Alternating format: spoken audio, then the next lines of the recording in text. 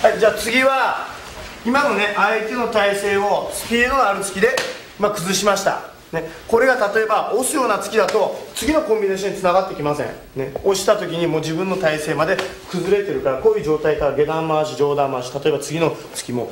強い突き出ない出ませんよね。だからそういう感じで打つんじゃなくて相手を、ね、弾くような感じで打って崩したらそのつなぎで下段回しを切りにいってください。この時に突きを打った時に絶対に体が崩れない軸が倒れない。後ろに行ったり前に行ったり前傾姿勢になったり後ろに反ったり、ね、こうならないように自分の重心はまっすぐ整えた状態で打ち崩して返して下段回し打ちます。これをスピードを速くして連続で